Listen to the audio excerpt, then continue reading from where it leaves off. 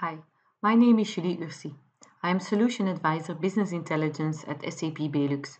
In this short video, I would like to explain how visualization is done in Lumira Discovery.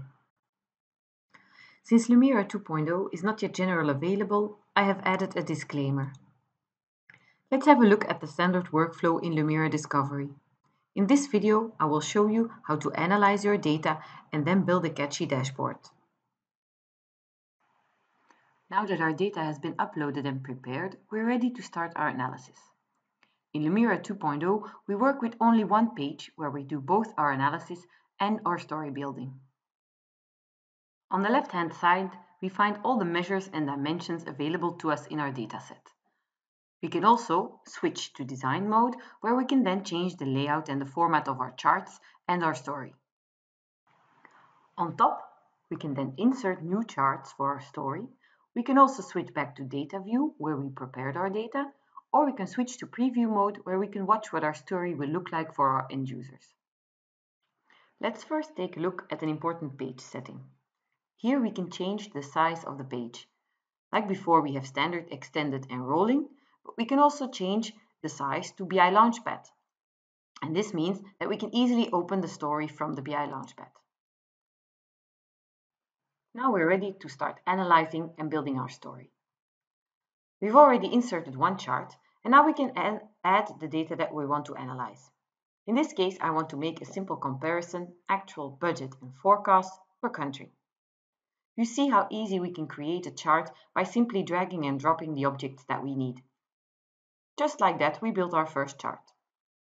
Now, we can analyze this chart in more detail by going to Maximize. In this detailed analysis view, there's much more we can do with the chart.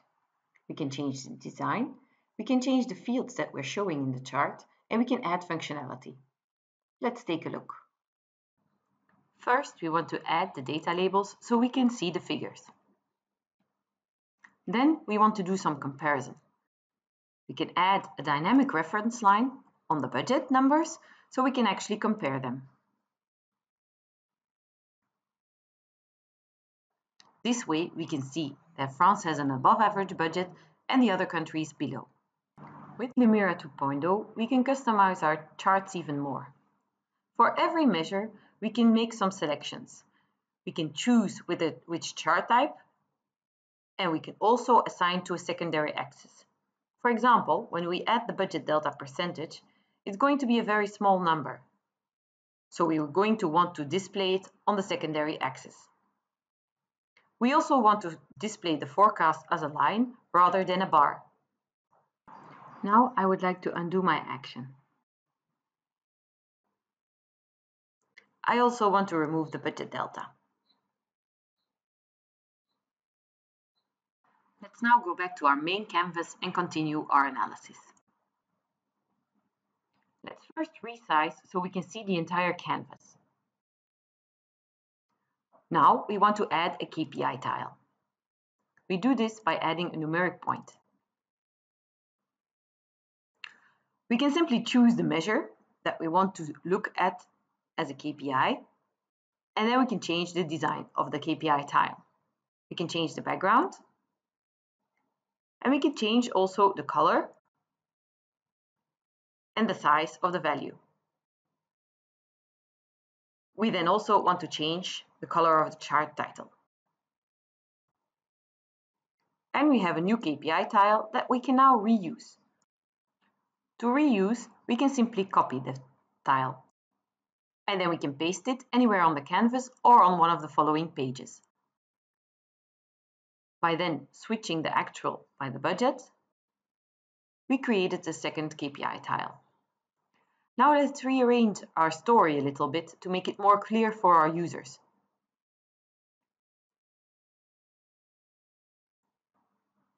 We want to make our story interactive.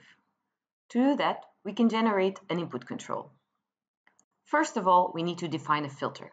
There are several options to create the filter, and we can also make it a more complex one by adding several filters. In this case, we want to have all of them to allow the user to make their own decision. Now that we have a filter, we can simply drag it onto the canvas to create an input control. We can choose different type of controls, and in this case, we want to have a list.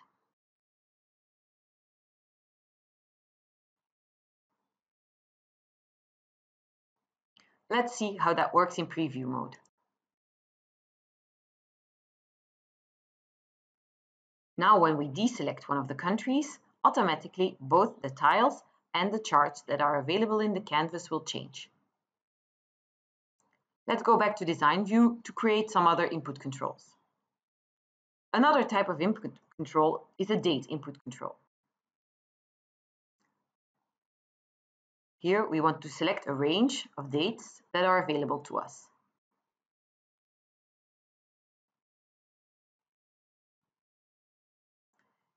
When we again drag the filter on the canvas, we can have an input control of the type date. As you can see, we can also move the objects on top of each other, unlike the previous version of Lumira. Now we want to create a third type of filter. When we select a range, we can use a slider input control. So when we drag the year selector on the canvas, we can here select control type slider.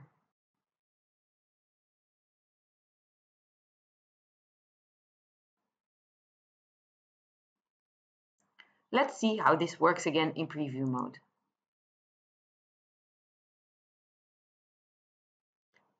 Here we can select a date, any kind of date or multiple ones, and here we can simply change the slider.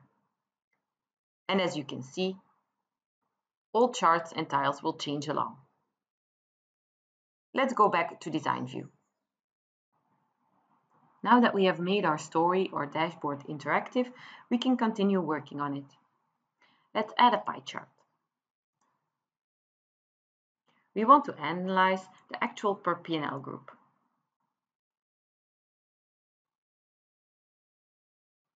As you might already notice, the data labels have been improved. We can change the design of these data labels in the design mode. We can decide not to have them overlap and uh, we can also decide what they show. Standard, it will show the category name and percentage, but we can decide to show only the name. There are also some color options. We can change the color by changing the palette. And as you can see, the new Lumira Discovery has been enhanced with two extra colors.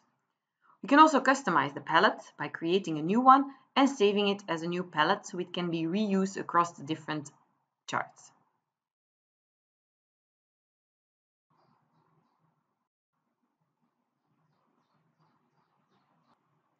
Another interesting chart when analyzing data is a heat map.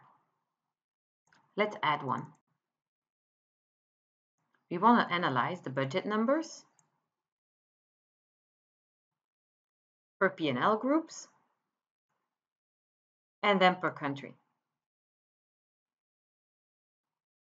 This way, we can easily identify the outliers or the exceptions. It's a very useful tool during your analysis. In some cases, it will be needed to add a table to your analysis. In Lumira, we can add a crosstab. The easiest way to start working with the crosstab is by going into detailed analysis mode. Here, you can then add all the measures and the dimensions that you would like to analyze.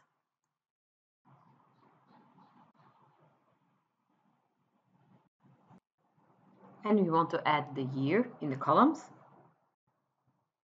to create a real crosstab. And now we can start changing the layout of our table. To start with, we can expand the columns one by one. We can also change the format of the figures. We can add, apply a scaling factor, for example, 1000, and the scaling factor will be shown in the header. A context menu is available for every cell in your table and allows you to customize your table. For starters, we want to add the totals. We want to add the totals both in the rows and the columns.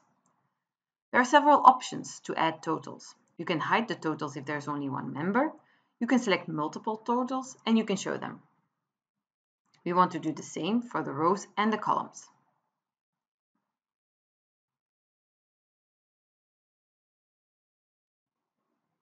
Now we can change the formatting of the table. We can change either the header or the value. Let's change the font type to italic and let's make the title a bit bigger.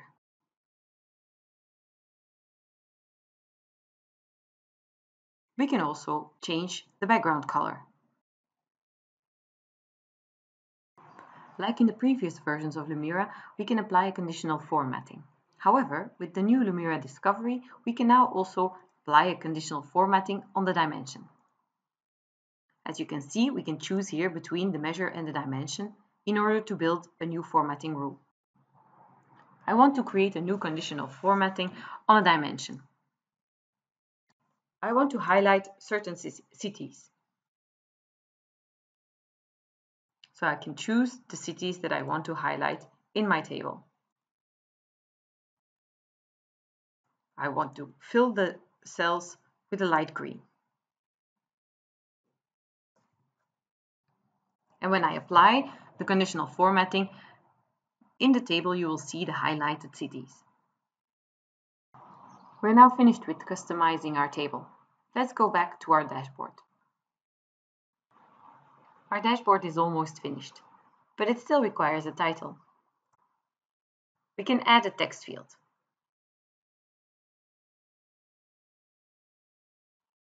We can give it our own description and then customize the title.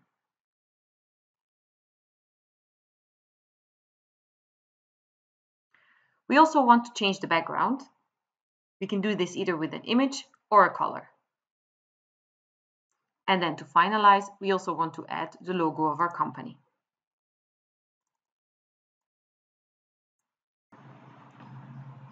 I hope you can see how easy it is to build a dashboard with the new Lumira Discovery. I wish you a lot of fun building your own.